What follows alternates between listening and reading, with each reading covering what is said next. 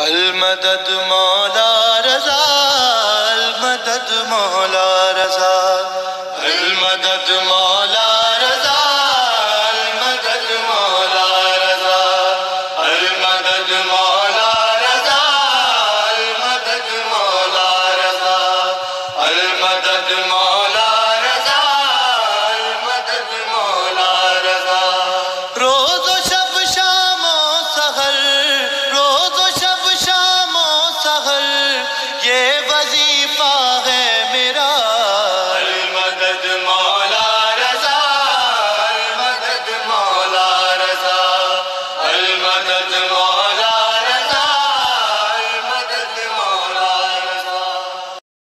لا حول ولا قوة إلا بالله العلي العظيم. أعوذ بالله من الشيطان الرجيم. بسم الله الرحمن الرحيم. الحمد لأهله والصلاة على أهلها واللعنة على مستحقها. أما بعد، بہت ہی مبارک اور مسعود گھڑی ہے، تاریخ ہے اس امام کی کہ جن کا لقب ہی رعوف ہے۔ امام امام رضا علیہ الصلاۃ والسلام، کہ جو تمام عالم انسانیت کے لیے اللہ کی حجت، اللہ کے نمائندے، جانشین پیغمبر، وارث امیر المؤمنین، اور ساتھ ہی ساتھ تمام انسانوں کے لیے تمام مشکلات میں گھرے ہوئے تکلیفوں میں موجود انسان ان کے لیے پناہ گاہ ہیں امام۔ اور ایسے امام کی ولادت باسعادت کی تاریخ ہے، دل کی گہرائیوں سے تمام مؤمنین کی خدمت میں، تمام امام سے عشق رکھنے والوں کی خدمت میں، اہل بیت اطہار سے عقیدت رکھنے والے تمام انسانوں کی خدمت میں آپ سب کے لیے مبارکباد کا ہدیہ لے کر حاضر ہوئے ہیں۔ پروردگار، اس مبارک موقع پر آپ سب کی تمام دلی مرادوں کو قبول فرمائے۔ میں عرض کروں، امام کی زیارت اور امام کی بارگاہ میں حاضر ہونے کا کیا شرف ہے؟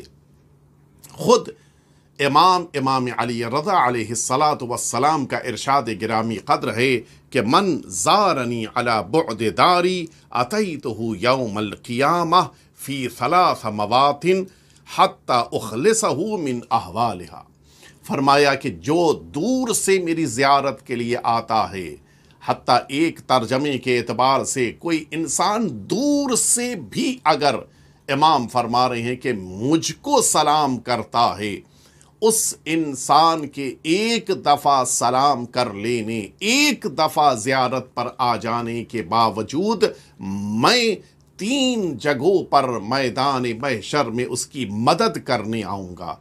حتیٰ اخلصہ من احوالہا۔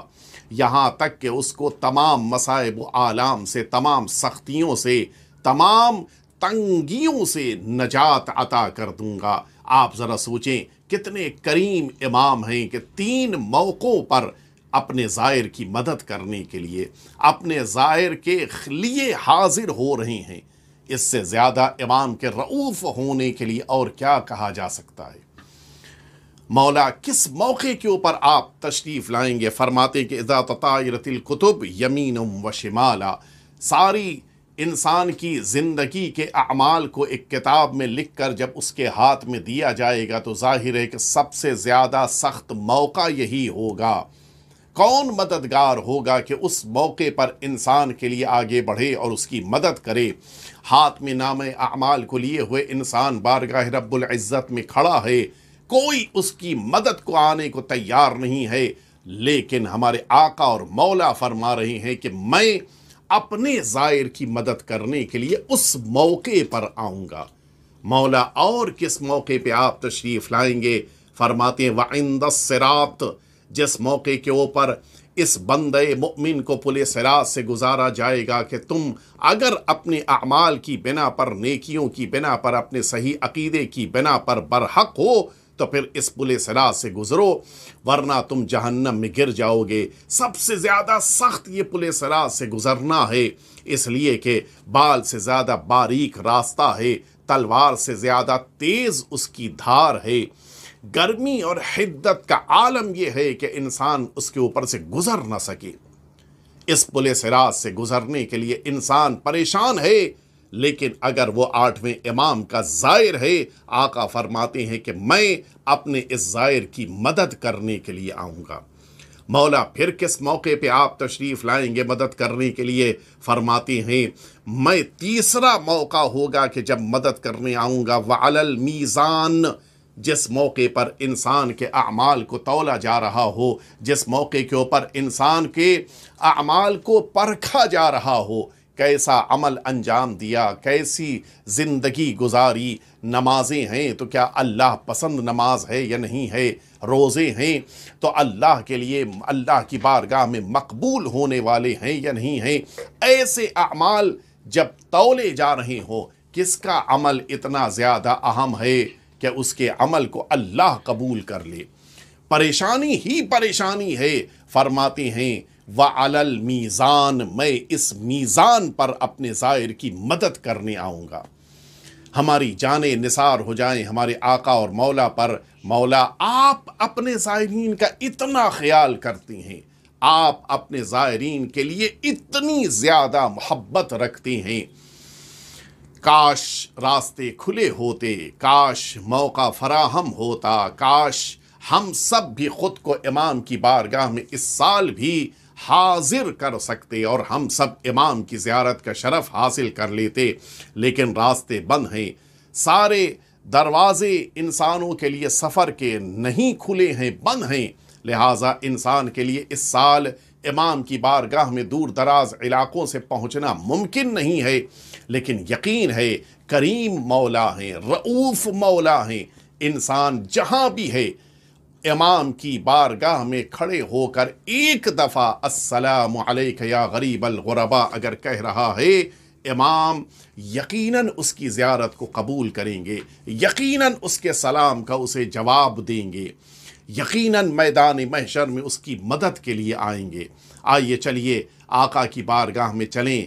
فرزند پیغمبر، وارث پیغمبر، وارث امیر المؤمنین دل بند سید عالمیان وارث امام حسین صلوات اللہ وسلم علیہم اجمعین کی بارگاہ میں حاضر ہوں اور دل کی گہرائیوں سے آقا کو سلام کریں۔ آقا کی ذریعے اقدس کے سامنے کھڑے ہو کر یہ جملے اپنی زبان پر جاری کریں۔ السلام علیک یا غریب الغربا السلام علیک یا اب الحسن، یا علی ابن موسى الرضا صلی اللہ علیہ وعلی اہل بیتک الطیبین الطاہرین۔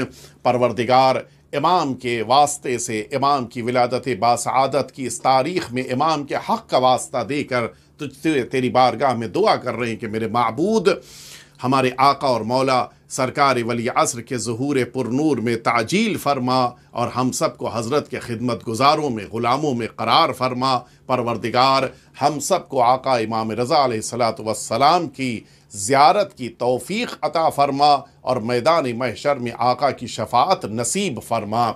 پھر سے ایک دفعہ آپ سب کی خدمت میں دل کی گہرائیوں سے مبارکباد پیش کرتے ہیں۔ امام کی ولادت باسعادت کے اس پر مسرت موقع پر تمام انسانوں کو، تمام انصاف پسند افراد کو دل سے مبارکباد اور ساتھ ہی ساتھ تمام لوگوں کی مشکلات کے حل ہونے کی امید اور آرزو کے ساتھ ہم اب یہ دعا کرتے ہیں کہ پروردگار تمام لوگوں کو اس کورونا وائرس کے شر سے نجات عنایت فرما۔ وصلی اللہ علیہ سیدنا محمد و آلہ الطیبین الطاہرین۔ اللهم صل على علي ابن موسى الرضا المرتضى الإمام النقي وحجتك على من فوق الأرض ومن تحت الثرايا. الصديق الشهيد صلاة كثيرة تامة باقية متواصلة متواترة ترادفا أفضل ما صليت على أحد من أوليائك